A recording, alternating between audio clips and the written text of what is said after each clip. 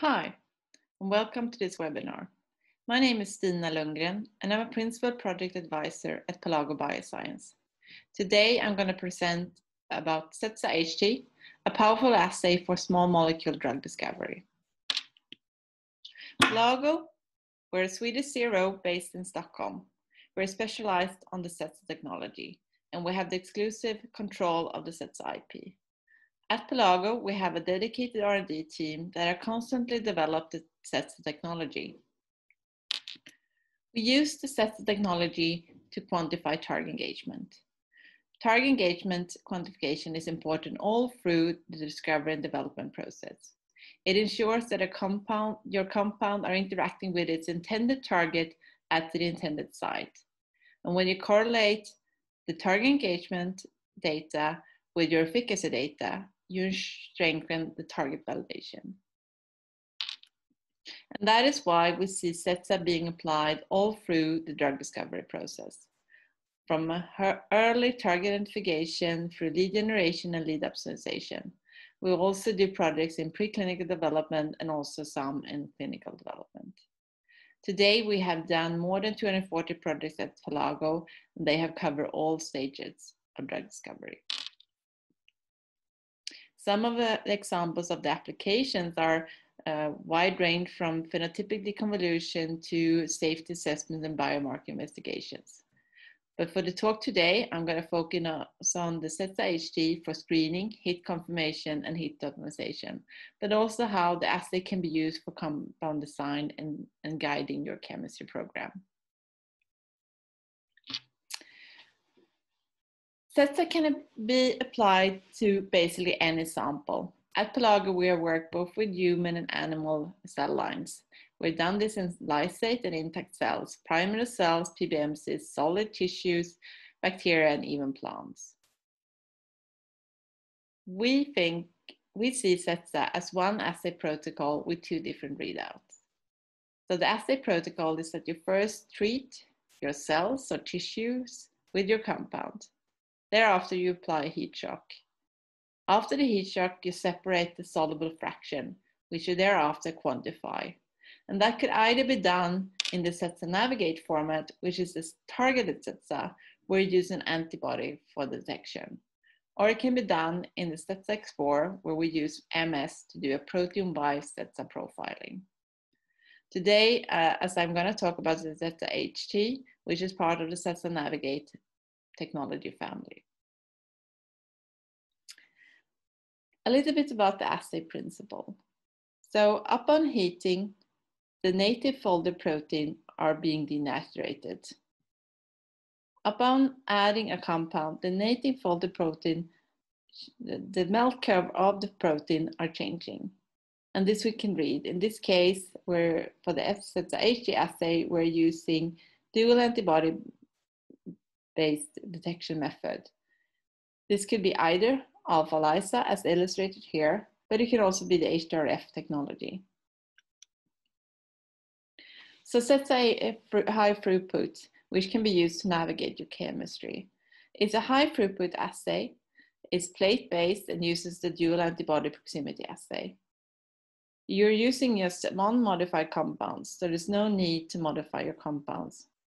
And you're also using the endogenous expressed protein in live cells. There is no cloning required.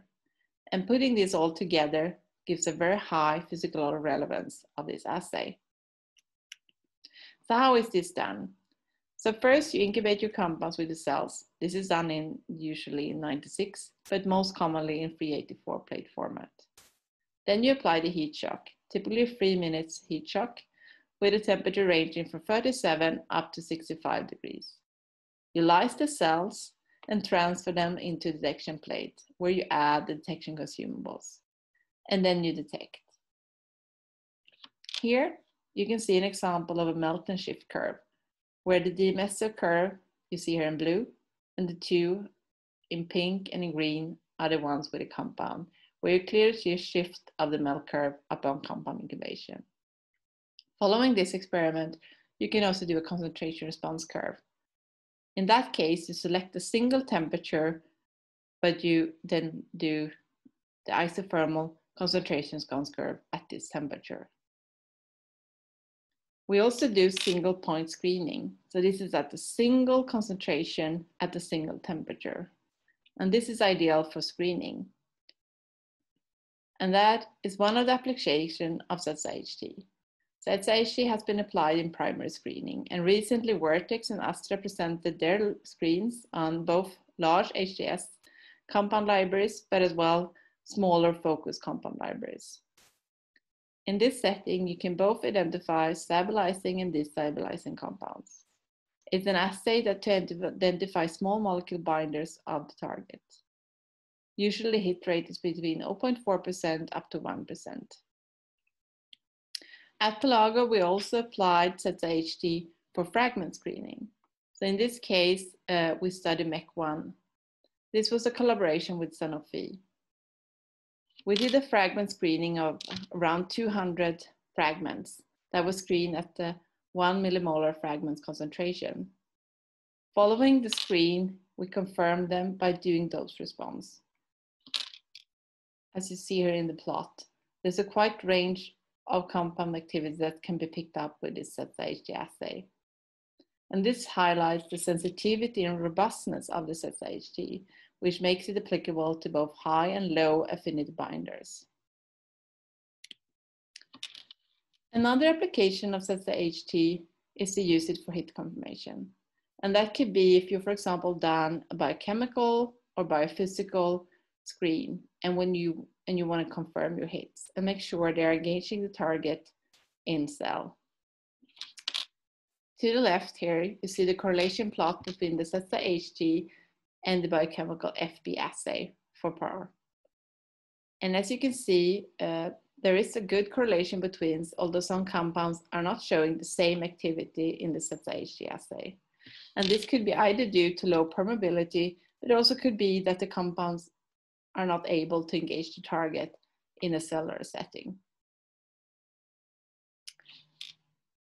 The other plot here is the correlation between the CETSA HT assay and the cellular functional assay, in this case, a PARylation assay. As you can see, most compounds are showing good correlation. And this, of course, is very important if you want to strengthen your target.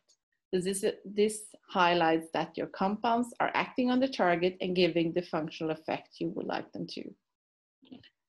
But interestingly well, you can see that CETSA HT are picking up silent binders. So these compounds are binding to the target but are not giving the cellular effect. And these kind of compounds are particularly interesting for a PROTACs uh, project where you would like to identify binders that you can then uh, connect to an E3 ligand binding motif.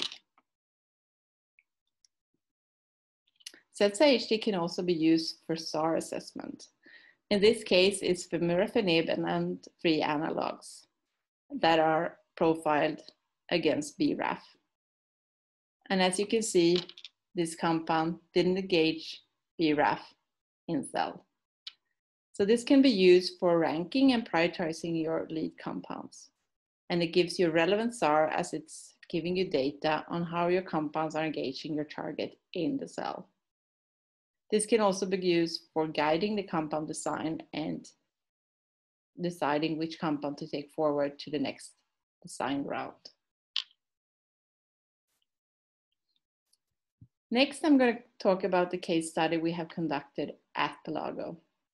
This case study is on MEK1 using an alpha CETSA HT assay. We have profiled four different compounds. The top compound here is an ATP competitive compound.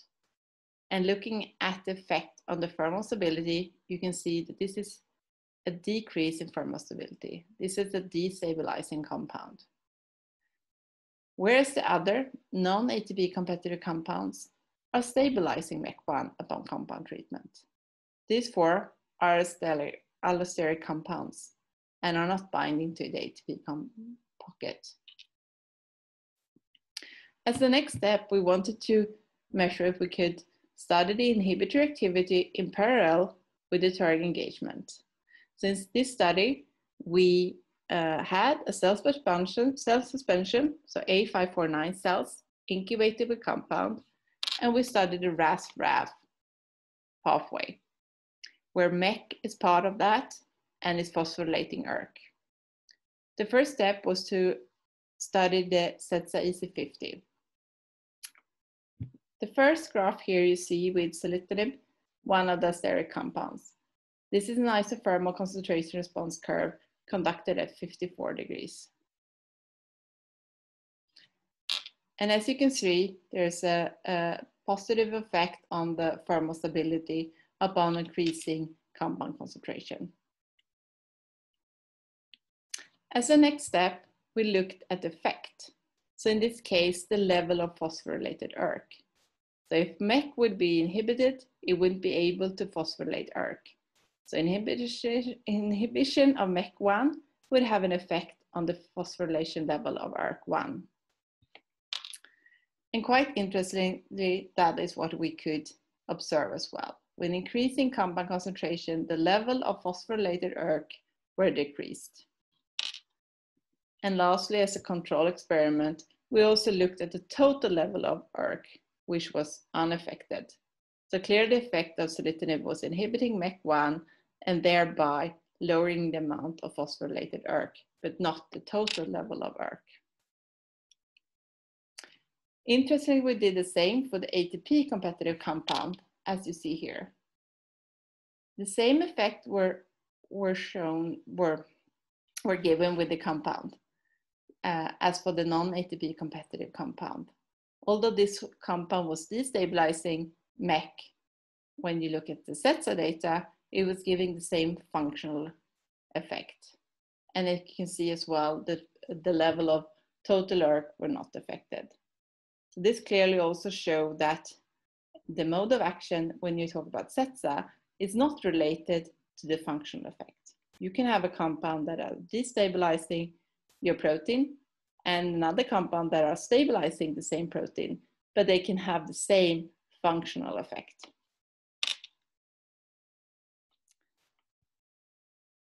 We also conducted a case study on PROTACs at Pelago. So in this case, we have the PROTAC where we have a ligand that recruits the E3 ligase. We have a linker and a warhead. And the PROTAC bind both to the E3 ligase and the target and bring them close together, causing a ubiquitination of the target, which is marked for degradation by the proteasome. In this study, we profiled a set of CDK4 PROTACs. So these two PROTACs, they have two different warheads. One is based on palbociclib, uh, a known CDK4 inhibitor, and the other one based on ribociclib, also a known CDK6-4 inhibitor. They have the same linker and also the same ligand for recruiting the E3 ligase cereblon. Both affected the thermal stability of CDK4 in a similar manner. Also comparing this with palbociclib, which has a larger effect on the thermal stability. Although that is not completely translated into the CETSA EC50 that was measured at a single temperature. Following this study, we also looked at the PROTAC uh, against cereblon, how well the ligand could engage the E3 ligase. So in this case, we included both uh, the PROTAC A and B, but also a non-CDK4 PROTAC, R825, which is a BRD4 PROTAC, but has the same E3 ligand. And as you can see, all three of them were actually shifting the MELD curve for cereblon, confirming target engagement of this PROTACs. In this last case study, I'm going to talk about CETSA HT profiling of STING antagonist and agonist. STING is a CETSA HT assay we recently developed at Pelago. The agonists were inducing a large stabilization of STING 10 degrees difference between the DMSO treated sample and the STING treated sample, and the STING agonist treated sample. The two inhibitors were, were giving a destabilization, although a smaller shift we're seeing is still significant. So what are the type of compounds you can profile with CETSA? Of course, the compound has to bind to the protein to induce a thermal shift. The ratio between the solubility and the affinity should be high. And the reason for this is that the top concentration in CETSA are usually one to two logs higher than the cellular EC50, and thereby you need a quite good solubility of your compounds. Here are some of the examples we have profiled at Pelago, and that's ranging from agonist and antagonist, but also covalent binders and active site binders. We profile fragments and products and prototypes, and also larger molecules like antibodies and macrocycles and peptides. So which targets are sensible? Taking into account the Pelago in-house experience, we know that proteins that have a size between 20 and 120 kilodaltons are usually easier, easier to set up a CETSA assay for, although we also work with larger proteins. We know that the location is important. Cytosolics are more sensible than membrane-bound proteins, although we've been successful in setting up assays also for membrane-bound proteins, up to 14 TMs. We also work with nucleus and mitochondrial proteins. We know that the number of interactions the protein has is important. And if there's a protein that is part of a large protein complex, it might be harder to make that protein shift in the mouth curve. Last but not least, it also depends on the antibody availability. The CETSA assay based on on antibodies for detection will never be better than the quality of the antibodies. So when we take on a new project, we look at these criteria to see if we think the target is sensible or not. We also look in our CETSA database. So we have a database of the CETSA MS experiments we've done. And in that database, we can look for the frequency of detection of that specific protein in relevant cell lines. We can also look at the melting profile of that protein to see if it's melting in a, in a good temperature range. we can also look if we ever detected a compound inducing a shift of that specific protein. Please come and visit our booth 513 to download the list of targets we have previously worked with. We're also happy to give you advice whether your target is accessible or not and do a sensibility assessment for you. To summarize, so CETSA HT can be used for ranking and prioritizing compounds. The applications are varying from primary screening and hit confirmation, SAR generation, but can also be used for translational studies. The sensitivity and robustness of the CETSA HT assay allows it to profile both high and low affinity binders. CETSA HT can also be used for profiling PROTACs and you can study both the target engagement towards their target protein as well as the E3 ligase. I want to thank you all for your kind attention. And if you want to learn more, please come and visit our booth 513, or you can also book a one-to-one -one with us to discuss more. If you want to learn more about how MS proteomics can be used for protein degradation drug discovery, Please tune in to the on-demand presentation from Michael Dabrowski, CEO at Pelago Bioscience. Then I wish you all a good day. Thank you.